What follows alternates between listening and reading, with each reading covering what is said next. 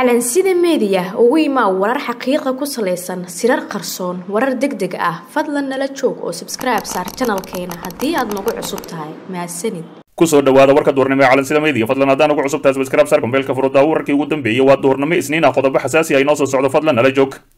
Xog xasaasiya wasiiro iyo xildhibaano ka baxay xafladii lix iyo labaatanka juun kadib arrin la yaab leh oo lagu sameeyey islamarkaasina ka xanaaqeen gebi ahaanba xog ay heshay calansida media ayaa sheegaysa in wasiiro iyo xildhibaano ka tirsan dowladda federaalk soomaaliya ay habeen dhexdaasi ka baxeen howlka lagu qabanayay munaasabadii loogu dabaaldegayay lix iyo labaatanka juun xafladda oo lagu qabtay howl yar oo ku dhex yaalla xarunta madaxtooyada ayaa la sheegay in dhammaan dadka ka qaybgalayay oo ay ku jiraan wasiiro xildhibaano iyo madax kaleba loo diiday in ay moobeeladooda la galaan. Halkaasi xogta aan helnay ayaa tilmaamaysa in amarkaasi uu ka soo baxay filla soomaaliya gaar ahaan farmaajo. Waxaana diiday oo dibadda munaasabadda uga baxay wasiirada kale ah. Saalax axmed jaamac oo ah wasiirka dastuurka soomaaliya oo ka soo jeeda somalilan iyo wasiirka kuluumaysiga soomaaliya cabdulaahi bidhaan warsame oo ka soo jeeda sool sidoo kale waxaa munaasabadda ka baxay xildhibaano ka tirsan baarlamaanka soomaaliya una badan kuwa ka soo jeedo deegaanada puntland iyo mas'uuliyiin kaleba cabashada xubnahan ayaa ku salaysneed laba arrin oo kale ah in wasiirada iyo xildhibaanada ay la geli karaan moobeeladooda islamarkaasina aysan jirin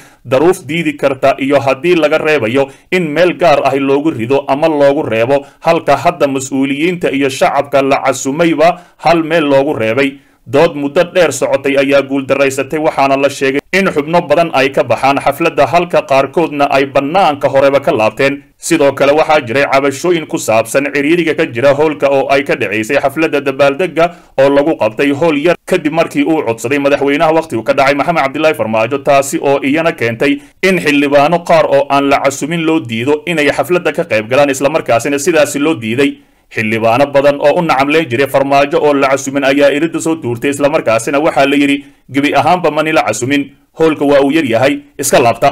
Dhinaca kale dowladda federaalk soomaaliya war ka soo saartay weerarkii wisil iyo wararkii ugu dambeeyey khasaaraha halkaasi ka dhashay. Dowladda federaalk soomaaliya oo si adag u cambaaraysay weerarkii ay dagaalyahanada al-shabaab ku qaadeen deegaanada wisil ee gobolka mudug ayaa tacsi tiiraanyele u diray ehelada dadkii al-shabaab ku dileen weerarkaasi oo ahaa mid culus ugu yaraan soddon qof oo shacab ahi iyo askar isugu jira ayay al-shabaab ku dileen weerarkii ay ku qaadeen deegaanka wisil oo dhaca koonfurta gobolka mudug halka dhankooda al-shabaab laga dilay afartan iyo kow dagaalame sida ay sheegeen saraakiisha militariga soomaaliya wasiir ku-xigeenka wasaaradda warfaafinta cabdiraxmaan yuusuf al cadaala ayaa sheegay in dowladdu ay qaaday tallaabooyin deg deg ahi oo loogu gurmanayo shacabka reer wisil oo muujiyey geesinimo iskana caabiyey shabaabkii soo weeraray. Xukuumaddu iyadoo dhiiro gelinaysa guusha shacabka reer wisil waxay qaaday tallaabooyin deg deg ahi oo gurmad loogu fidinayo shacabka ayuu yidhi. Dadka ugu badan waxaa dilay miinooyinka al-shabaab ku aaseen waddooyinka soo gala deegaanka ka hor inta aysan weerarka ku qaadin sidoo kale madaafiic ayay ku garaaceen deegaanada u dhow wisil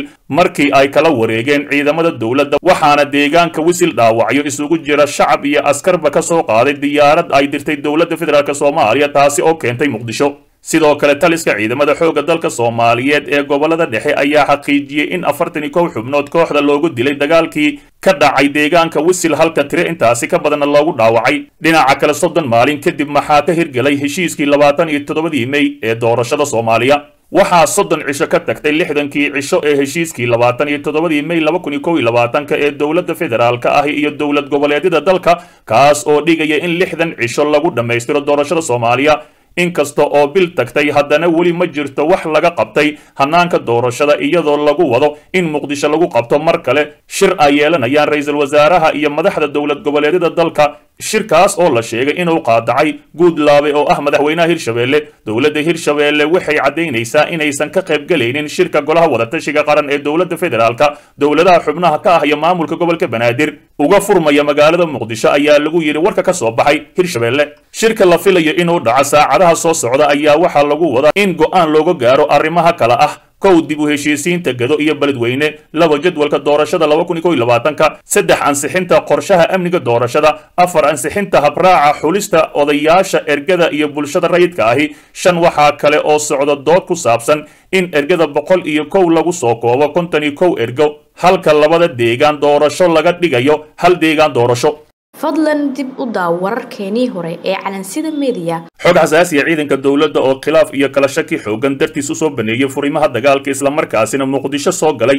Ciidamadani ayaa la sheegay inay yihiin ciidamadii ka soo horjeeda muddo kororsiga farmaajo. Sidoo kale dagaal xoogan oo ka dhacay qeybo ka mid ahay galmudug. Aan ku horreeya militariga soomaaliya ayaa soo baneeyey deegaano badan oo ka tirsan degmooyinka jowhar raagaceelle iyo mahaday ee gobolka shabeellada dhexe kuwaasi oo dhowaan ay ka qabsadeen dagaalyahanada al-shabaab. Wararka ay heshay calansida media ayaa xaqiijinaya in ciidanka dowladda ay soo galeen muqdisho kadib safar dheer oo dhulka ahi oo ay kaga soo baxeen. Deegaano badan oo dhaca shabeellada dhexe ee koonfurta soomaaliya. Wararka aan helayno ayaa sheegaya in ciidanka dowladda ay u soo baxeen khilaaf saraakiisha dhexdooda ahi kaasi oo salka ku haya. Kala shaki ciidanka soo kale dhex galay saraakiil ka tirsan militariga soomaaliya ayaa sheegay in khilaafka saraakiishu uu sii xoogaystay markii qarax lagu weeraray. Korneel saney cabdulle iyo saraakiil kale. Ciidanka waxaa istaagay wada shaqayntii ka dhexaysay waxaana kordhay kala shakiga u dhexeeya waxayna ku sigteen in dhexdooda dagaalamaan oo ay jufis ka dhigaan kadibna waa ka soo baxeen furumihii ayuu yidhi sarkaal ka mid ahay ciidanka ku sugnaa aagga biya cadde ee gobolka shabeellada dhexe kuwaasi oo soo galay magaalada muqdisho qaraxii lagu dhaawacay korneel sane cabdille ayaa waxaa la tuhumayaa in gaarigii lagu fuliyey ay soo fasaxeen ciidanka gorgor oo ka amar qaata madaxweynaha wakhti uu ka dhacay maxamed cabdilaahi farmaajo.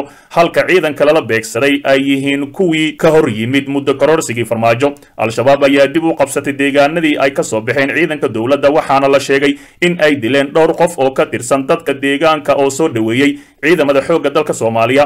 Weli wasaaradda gaashaandhigga soomaaliya kama aysan hadlin. Khilaafka ciidanka waxaana jira in madaxda wasaaradda ay dareensan yihiin in muddo kororsigii madaxweyne farmaajo uu saameyn weyn ku dhex yeeshay ciidamada xoogga dalka soomaaliyeed. Si kastaba ha ahaatee ciidamadii ayaa halkaasi soo baneeyey waxayna soo galeen magaalada muqdisho.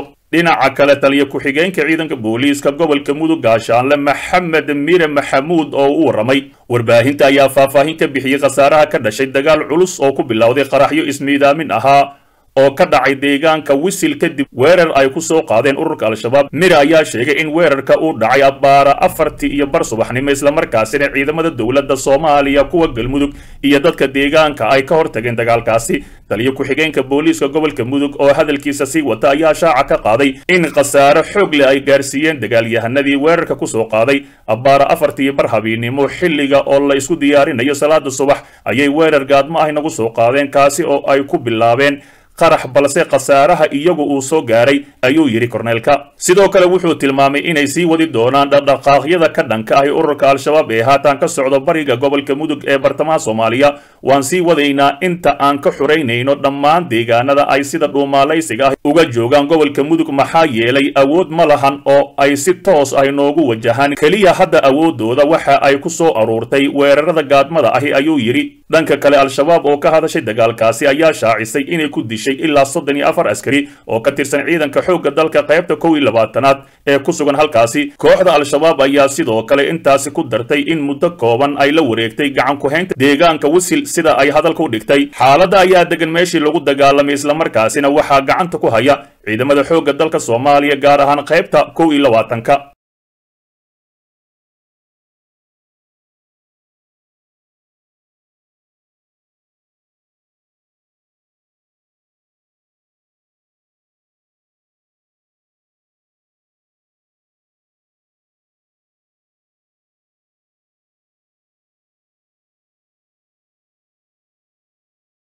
dhegaystow ogow haddaadan xalka qayb ka noqon waxaad qayb ka tahay dhibaatada dalka